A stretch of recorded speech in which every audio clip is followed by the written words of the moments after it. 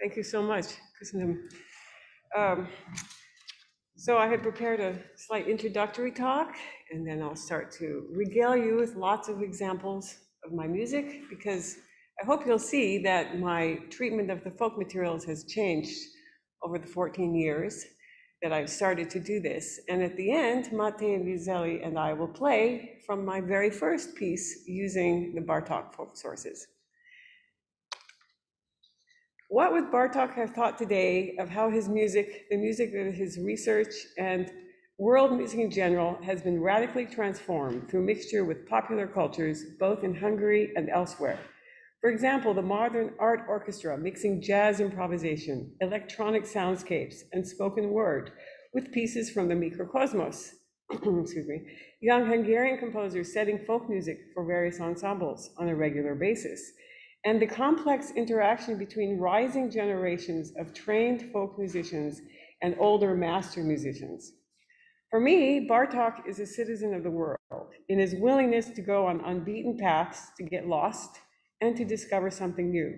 One can only imagine the enormous energy and passion involved in his decades of recording and transcribing music from various cultures, learning the different languages, navigating the unpredictable and considerable challenges of fieldwork and sustaining tremendous energy into finding publishers to give voice to his brilliant conceptions, which he saw as his mission of preserving rapidly changing oral traditions. And all this while maintaining in several parallel universes his multiple lives as a visionary composer and pianist. I realize young Hungarian composers today may choose not to touch their own folk traditions out of tremendous respect, as one has recently told me. But during my time here, exploring the different musical scenes in Budapest, I have found several composers, as well as frequent creative mixtures of Bartok's music performed by classical musicians, interlaced with performances of the same folk melodies interpreted by folk musicians and even folk dancers. Let me introduce how I became interested in using Balkan and Central European folk sources. Though trained as a concert pianist, my growth as a composer was based on initial exposure to Asian composers and traditional Asian music. As Professor Vikárius had mentioned, I started studying composing with Michio Mamiya in Tokyo, who urged me to write for traditional Japanese instruments, as his own music frequently incorporates that of other cultures. As a doctoral composition student at UC Berkeley, I studied and played in a Javanese gamelan and helped Hugh DeFerranti, a colleague, transcribe biwa performers' sung epic recitations collected during his doctoral fieldwork in Kyushu, Japan. Of mixed Macedonian Slovenian background, for years I was hesitant to approach the music of my own multiple heritages. Was it too familiar? Too special? After all, I had been conservatively trained in Western classical music, and by the 90s, viewed myself as a young composer with much to catch up on, exploring all facets of new music I could find, including complexity and computer algorithms. My graduate training was mainly oriented towards developments in Europe. To balance this out, having been inspired by my Japanese experiences, I would take occasional courses in ethnomusicologies and even ended up marrying one. To jump ahead 15 years, as faculty at Boston University, I randomly ran across Bartok's publication, Yugoslav Folk Music, excuse me, on the library shelf. I felt a strange kind of shock. The combination of the word Yugoslavia, something my parents would often say out of nostalgia, as this is where they had met and where I soon after was born, and something written by Bartok, whose ethnographic research I had only heard about. Well, I simply could not ignore this moment. Thus began my ongoing love affair with Bartok's ethnographic research. The genesis of Yugoslav folk music as a publication is interesting to explore, as it helped launch Bartok's last years in America. After Bartok had given a lecture recital at Harvard, April 22nd, 1940, as part of a whirlwind five-week concert tour of the States, his second visit to America, through the invitation of Albert Lord, Bartok was made aware of Harvard University's collection of recordings.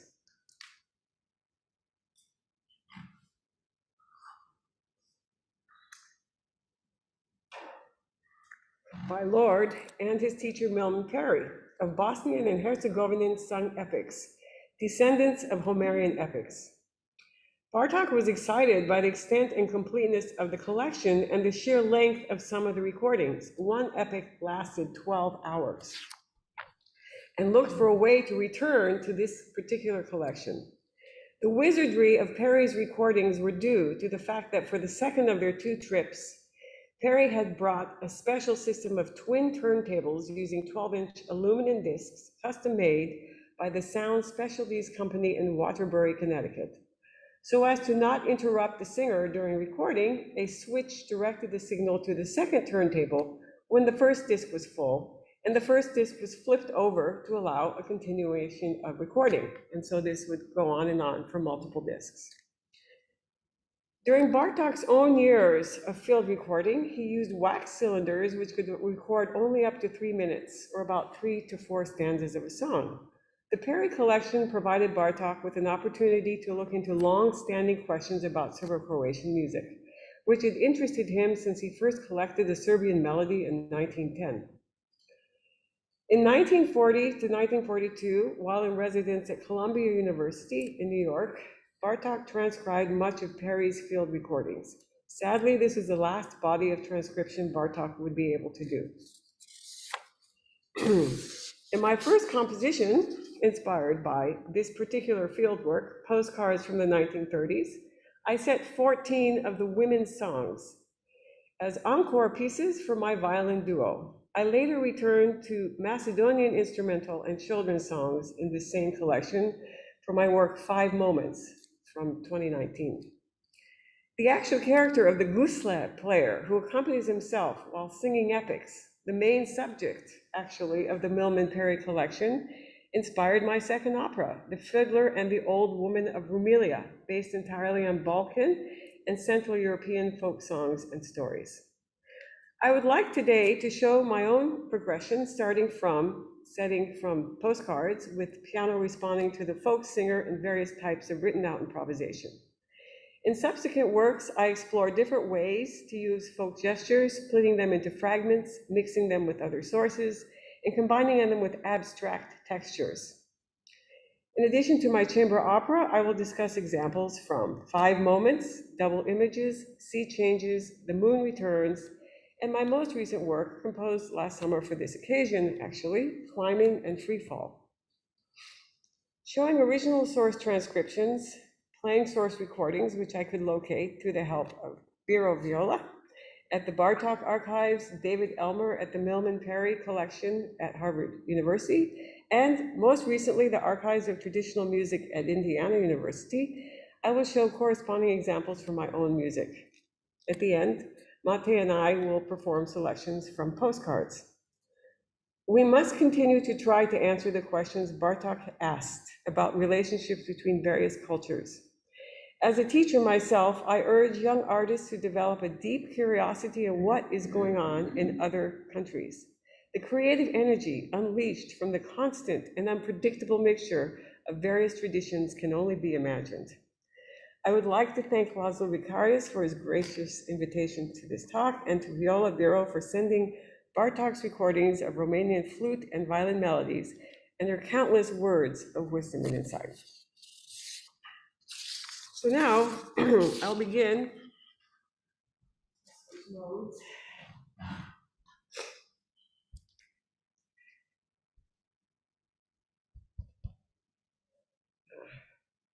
I can't get out of this one, Rudy.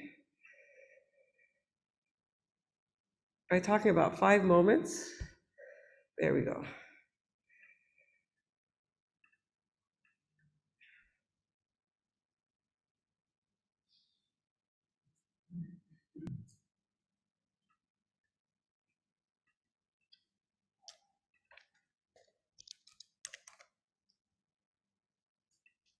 Okay. Let's see if I can get a better view. Here we go. Okay. Uh,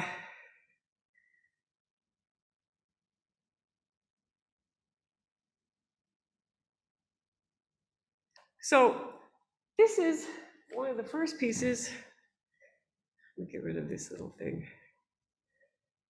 I don't know where to put it. That's very important part. Uh, one of the first pieces uh, in the five moments, short pieces for cello and piano. And here, in addition to uh, transcriptions of Macedonian children's songs and uh, instrumental music, I mixed in some of my old quotations of Herzegovinian songs from postcards. So I'm starting to quote myself in a very interesting way, which composers often do when they start to get old. Uh, as you can see here, for those of you who know this, I apologize, it might be a review as I tell my students, but I know I have some students listening. We can see here a skeletal melody.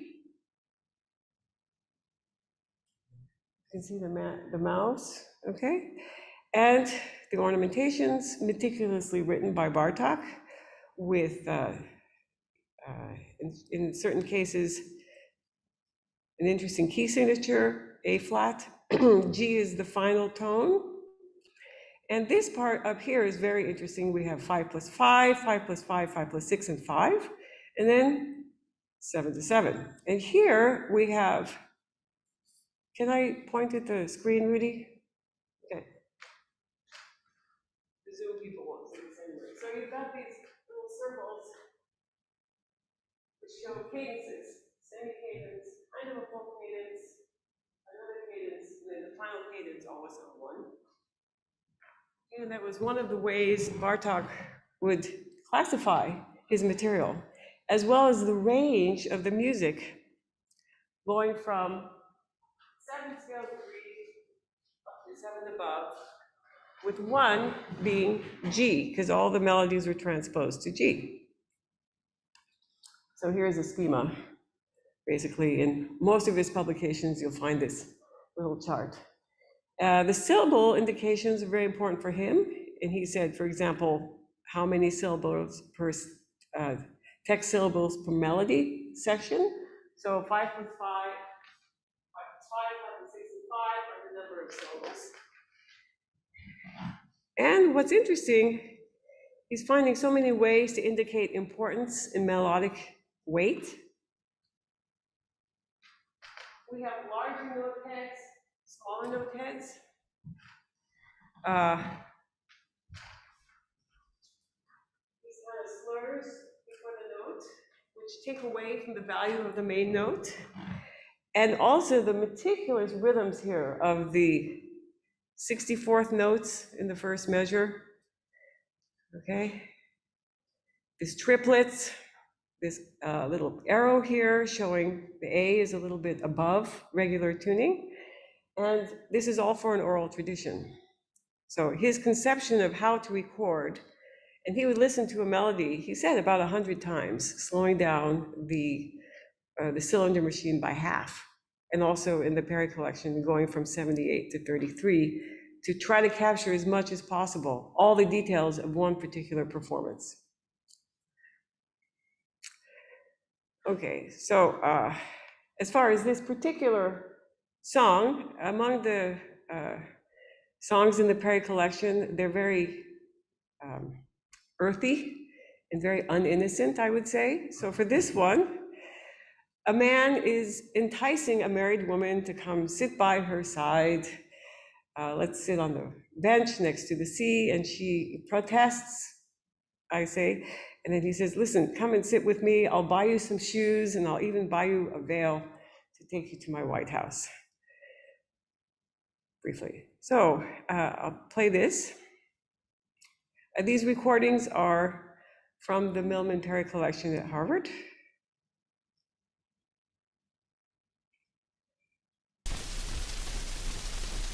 Grana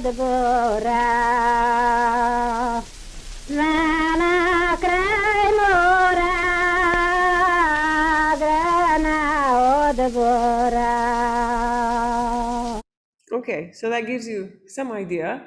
Uh, Bartok found that this style of ornamentation in his Bosnian and Herzegovinian transcriptions was quite different from Romanian, for example, or Hungarian or Slovak, in that it was very heavy. The ornamentation was very heavy and very elaborate. Uh, He would say, for example, the Romanian ornamentation functioned to get from one main note to another, like glissando or subtle slides, but the, this style was very elaborate and rich. And uh, he conjectured it was from the Turkish influence because this whole area was under Turkish occupation, the Ottomans, for a number of centuries. Uh, in the first piece also, I have, oh, sorry. A tambura, a little bit of a tambura introduction. And I thought, as a composer, what inspires me when I look at this material? Because you don't just set it with piano. You try to manipulate it, uh, fragment it, use certain gestures, extract certain gestures in a number of ways. So I thought, well, great, this opening uh, melody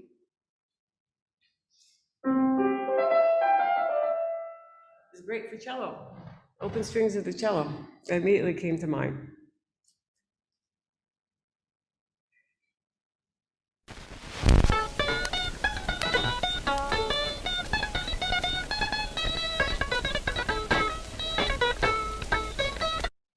Okay, so that gives you some idea.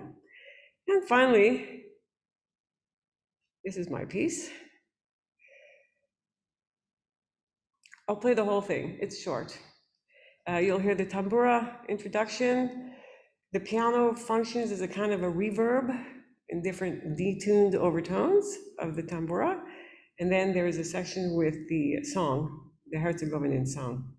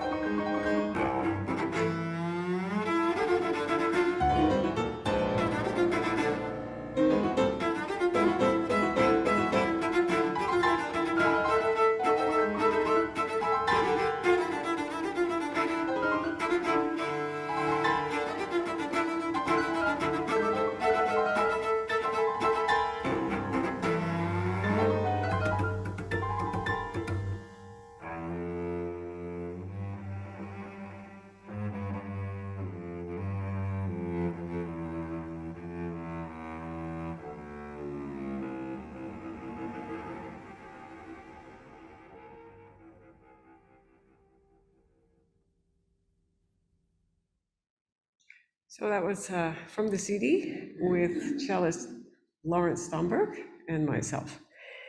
Uh, One more example from this piece I'd like to show is some of my favorite folk uses, uh, the bagpipe. It's absolutely incredible instrument and sound, has so many associations. So here's a short excerpt.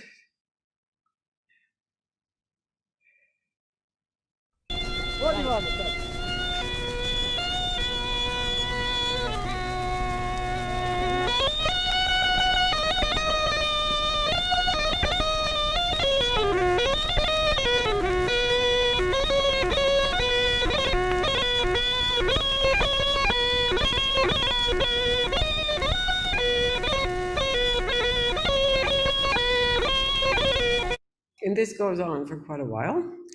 Uh, in this piece, I detuned one of the cello strings to create kind of a nice resonance, I hope, as you hear. And the piano is nothing but, again, a resonance of the cello. So I won't play the whole piece, but I want to give you a flavor.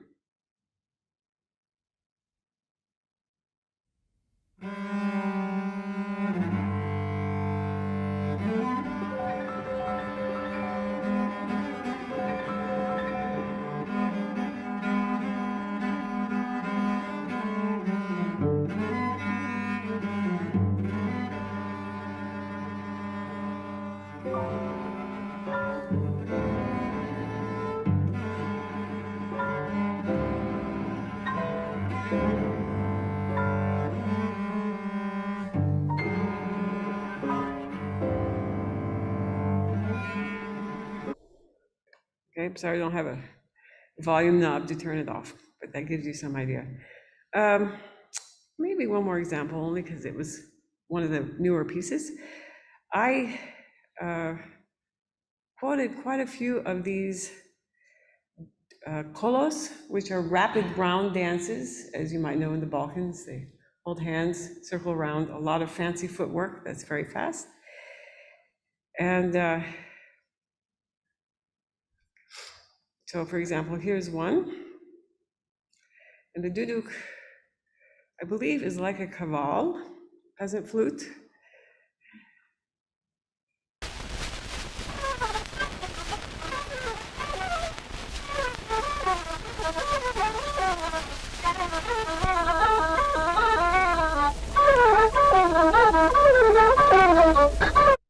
Okay, and I combined several of these quotations in the final movement of this piece.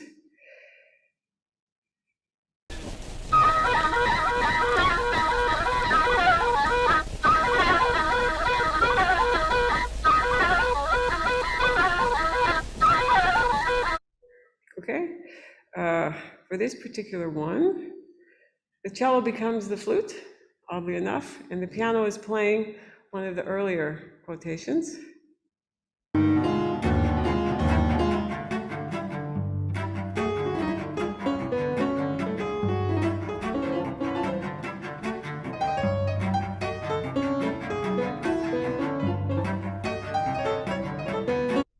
Notice it's in polyrhythms, so I'm starting to have fun mixing. I thought two against three should be straightforward, but it's one of the most challenging pieces I have to, to uh, put together. But we always have to try something new. Okay, so moving on to use of Romanian folk material. This is Macedonian, one Herzegovinian song. I will speak about a piece called Double Images. Is for violin and piano. Okay.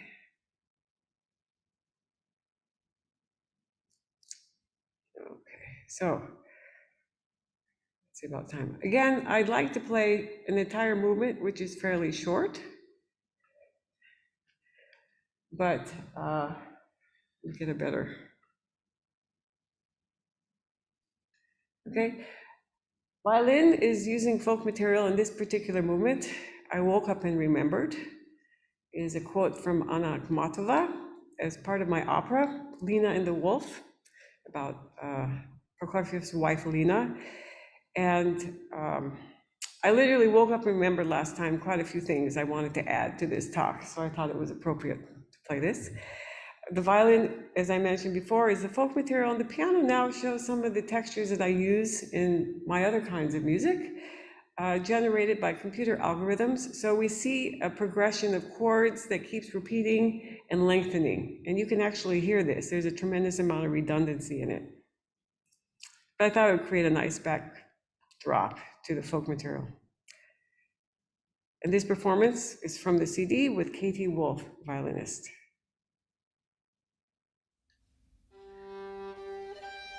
Uh,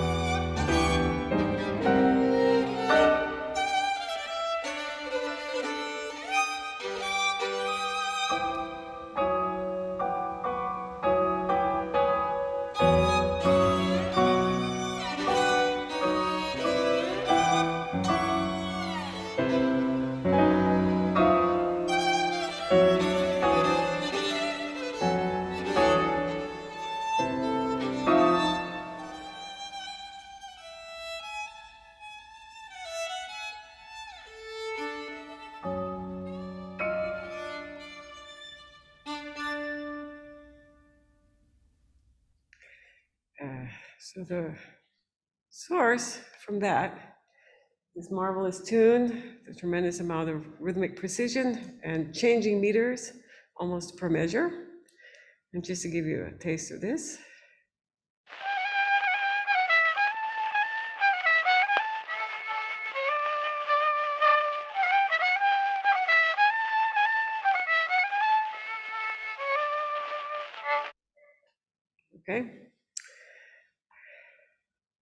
I'd like to move on to a more recent treatment, also of Romanian materials, uh, climbing and free fall.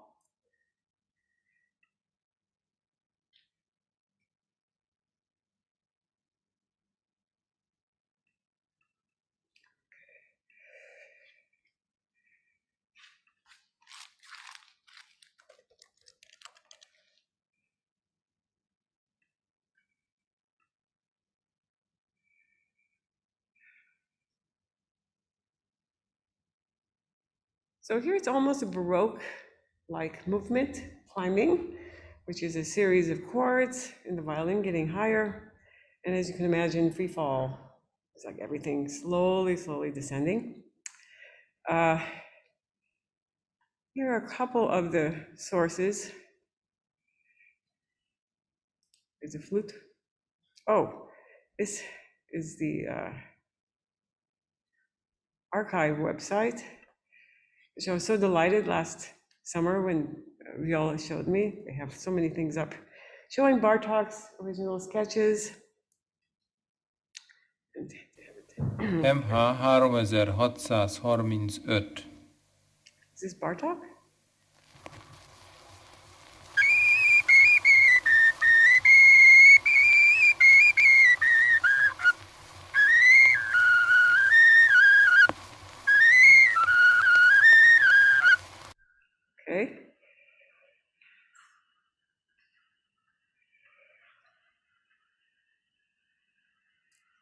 That. And just a little excerpt. I recorded this last summer with Robin Julian in Denver.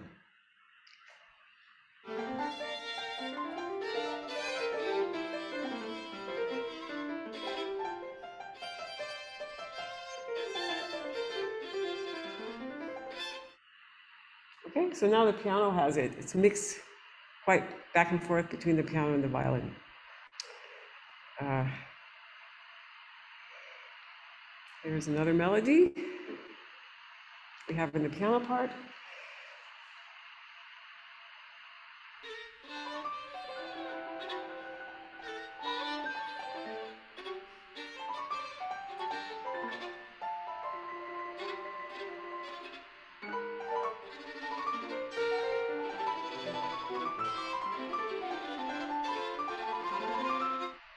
So in a way, this becomes much more chromatic. Tunes are fragmented, shifted. And I'd like to show you a little example from Free Fall. Okay, which is actually, actually an A minor scale in the violin, continually descending, but then jumping up and down in different octaves.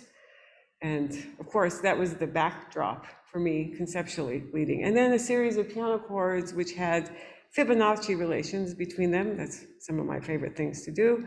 So we have here three, two, one, two, three, essentially.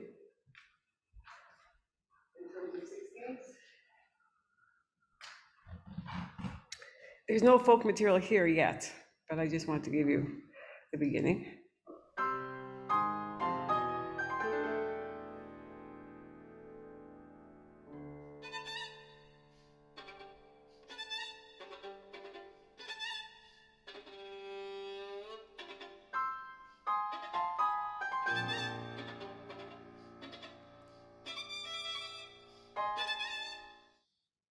Okay, and we were experimenting with ways to make this sound folk-like. Neither Robin or I had experience, but discussing with Máté, who was trained as a folk musician, he was uh, describing how the trill is made with two fingers as kind of a vibrato, and that's what we had actually done here. So I was very happy. I emailed Robin. And I realized also in the flute music, Bartok was saying that a kind of trill is literally moving the finger on and off the hole very quickly. So we kind of luckily guessed something in advance. And then finally, uh, the folk melody here bursts through. You can see it in the violin part from 80. It comes little by little, it emerges through the texture and then it lasts for the rest of the piece.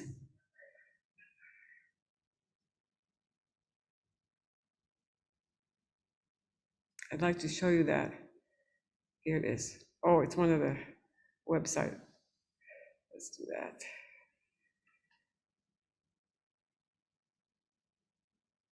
Okay. MH863-as henger.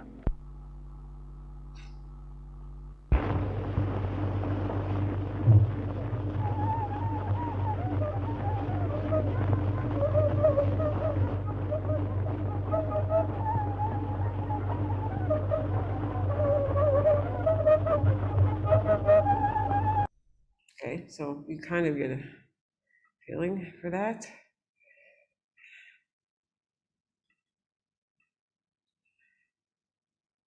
Okay, and finally, I'll play this example.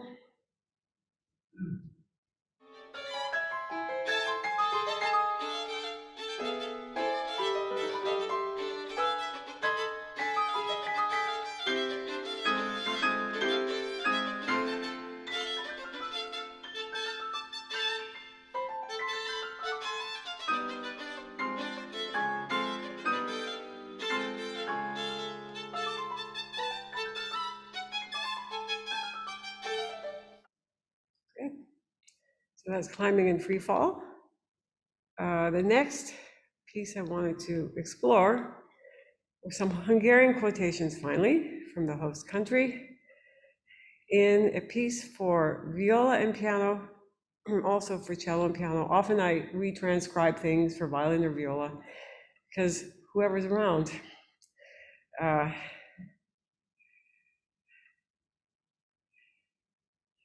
so this is uh, a little bird, and I was delighted to find on a recent CD this same piece uh, by Kodály, a setting for string orchestra. So it- it has kind of a long history, and we actually have this original performance from the archives. There we go.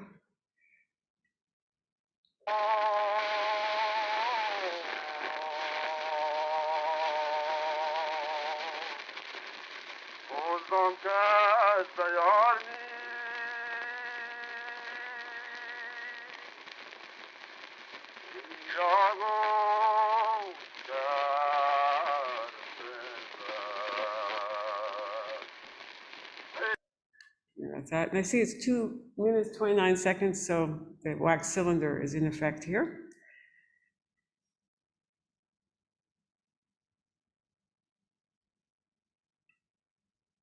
This piece actually uses two Hungarian songs, two Romanian folk songs, and two Turkish folk songs. Uh, it's called Sea Changes, I may have mentioned, and this is a recording from the CD Double Images by violist Daniel Donia.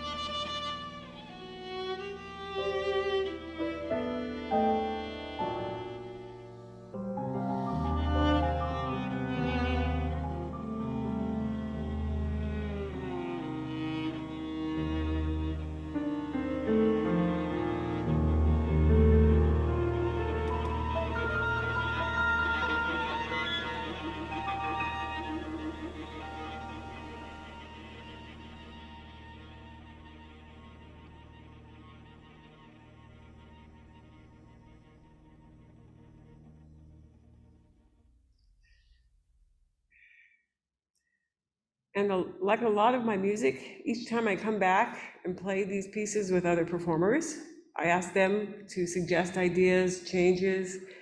Uh, it's kind of a constant process of uh, editing or discovering some new voice, I think. And I like to think of it because in folk music, each performance of a melody is quite different.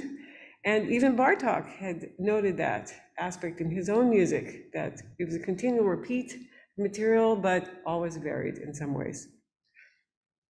Um, Let's see, how are we for time? I'd like to move on to some Turkish quotations in a flute piece that I recorded with Gergely Ittzés, a Hungarian composer. And again, this piece was written much longer ago, and then when he had a chance to look at it, I was very inspired by his use of double stops. He created a whole system of flute double stops, and I thought, wow, let's let's put some of these double stops in here. So besides just one or two, the piece really transformed itself, and so I had to retitle it entirely. What really catches me about the Turkish material is its extreme conceptual uh, gesture. Actually, they're descending lines with a lot of melismas.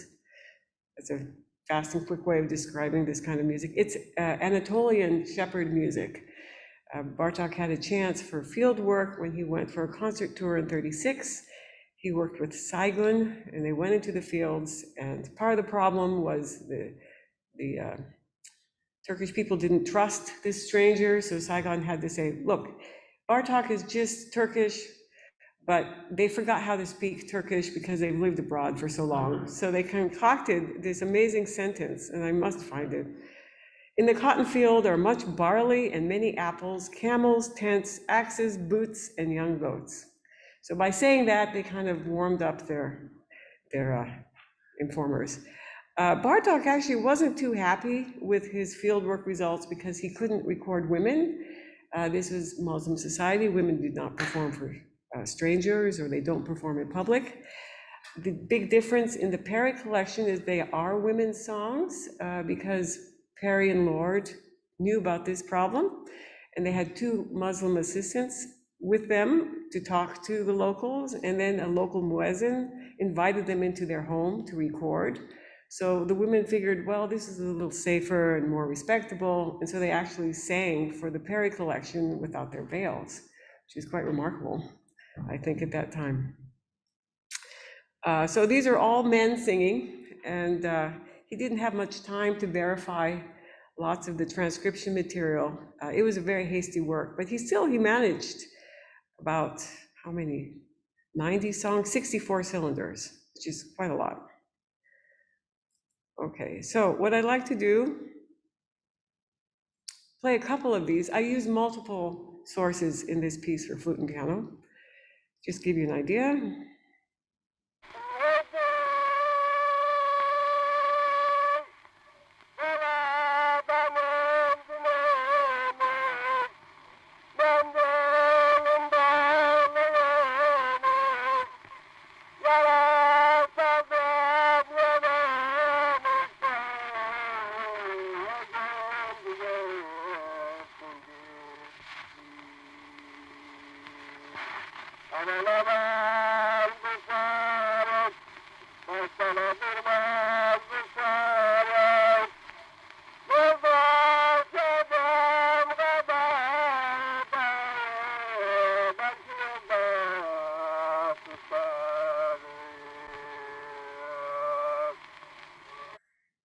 And you can see here, the little D uh, in the bass clef shows that's the original tonic of this singer. This song has been transposed to end on G.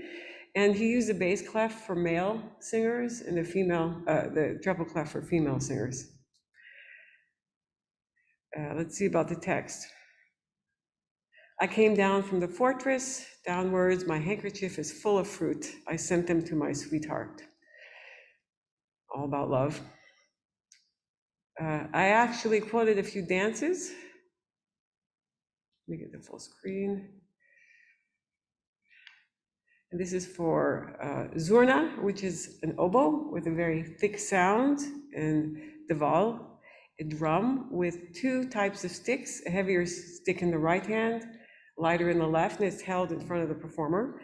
And this is also a very big tradition in Macedonia, where I was born, the oboe drum traditions.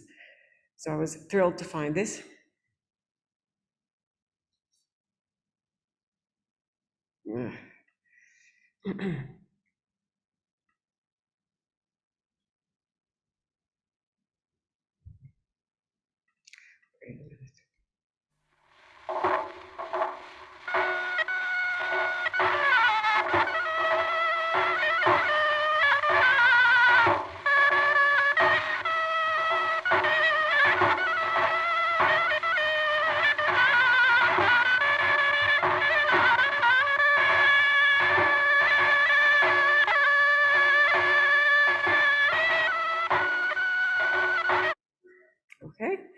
and to show from this piece itself, here is an example of lots of multiphonics in the flute.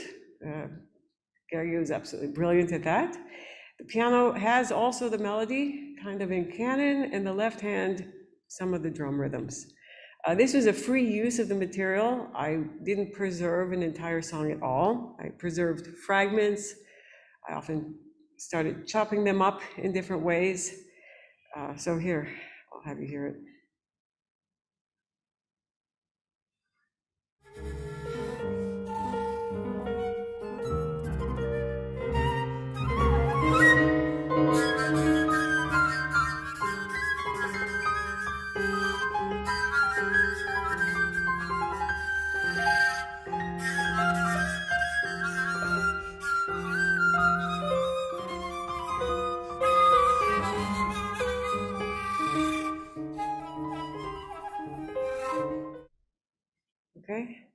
So I realize I probably ran out of time, so I won't talk about my folk opera, but I will direct you to the website where the recording is there, a bit of a description of how it's been put together.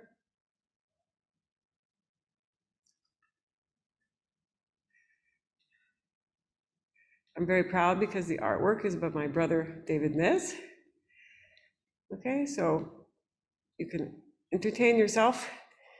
Uh, this is a recording of the concert version, and it was quite fun because we found, for example, concert, uh, the clothing from a local Bul- Bulgarian researcher. She had done a lot of work in Bulgaria with an epic singer. So we were able actually to find clothing from the area. Uh, so that was quite a bit of fun. And this mixes stories and songs from all over the Balkans and Central Europe. It's an hour plus long, it's quite big. So I think I probably should talk about postcards and play with Máté. Um, I'll give a brief introduction because I actually have some of the source recordings. Pictures, again from Harvard, of the singers they worked with, these old epic singers. I find them very striking, very handsome.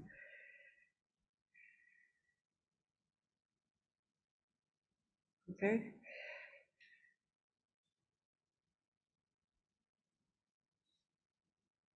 We'll be playing a brief sad letter first. Let me uh, play the sources. Same system of categorization by now in 1940s has been well established by Bartok. We've got the syllables, We've got the range of the melody from one to flat three, uh, the kind of Schenker graph, I like to joke with my students, of the melody itself, the incredible key signature of A flat, quarter tone higher, and B flat.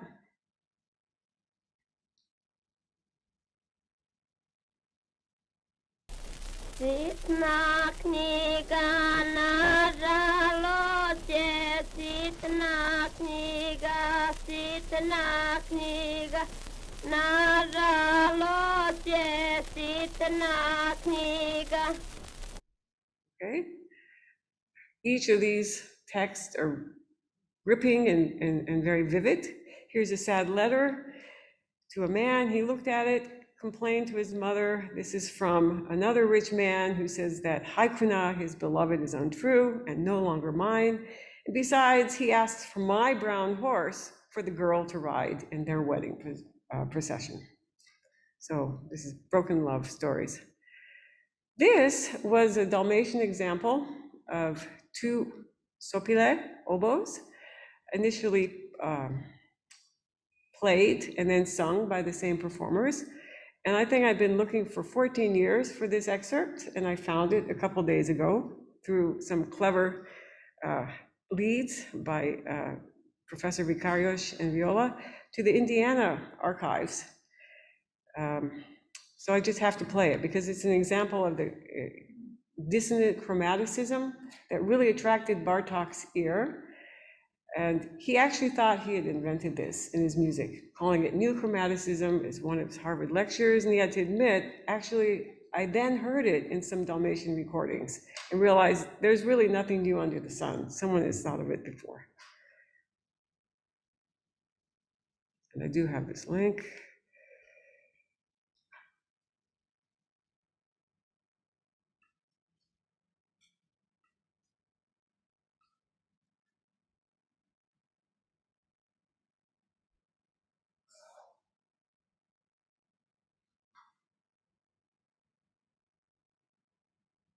Hmm, let me refresh this.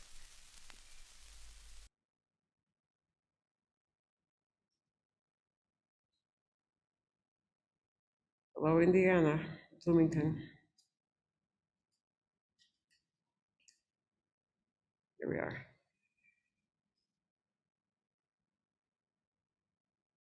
Oh boy. It's just disappeared after 14 years. It's vanished again. Okay, well, I may have better luck later. This is one of the pieces we're playing.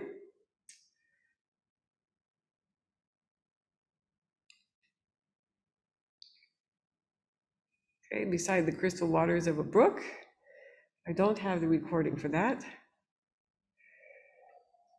You can see some of the elaborate ornamentation.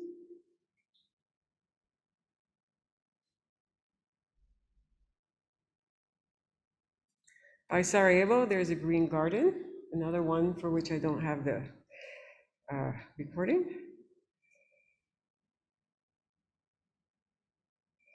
Jeha falling asleep by the sea.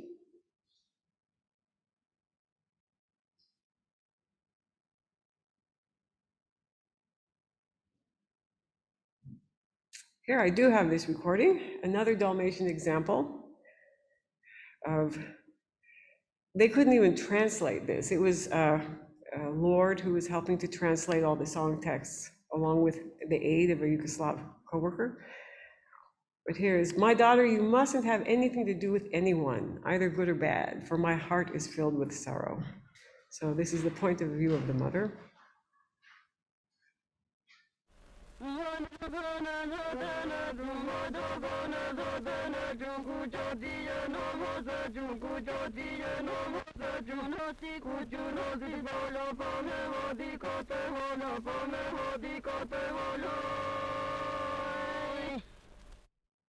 Quite something.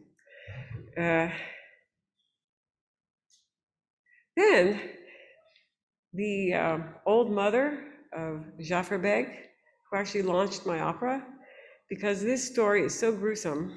Uh, let me play it for you and then I'll tell you the story. Ricambora, singer.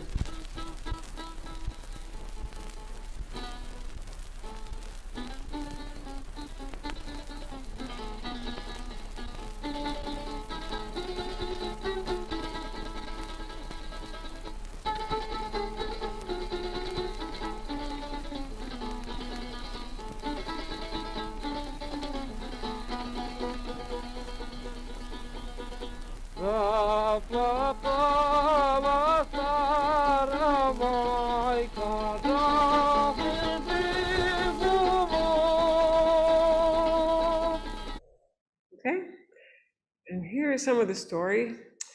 Uh, Lord discusses 45 other texts in their collection with the following variants. So apparently, this probably happened in the culture. An old mother begins to weep, My foolish child, what have you brought us? You have brought us a foolish young thing, more foolish than you. She's complaining about her daughter in law. Your wife will not heed me. So he took his mighty sword from its peg. And then you can imagine what happens next. He kills the wife or he kills the baby. And there are many um, variants of what happens next. So I thought, gosh, this is really a potent story. And I showed it to a playwright. And she said, This is your opera. This story can really launch an opera. So then I had to think very hard and look at all the stories from everywhere, but this was underlining the whole opera. Okay, I think that ends this Zoom, I mean, the, the PowerPoint part of the talk, and Máté and I will play now.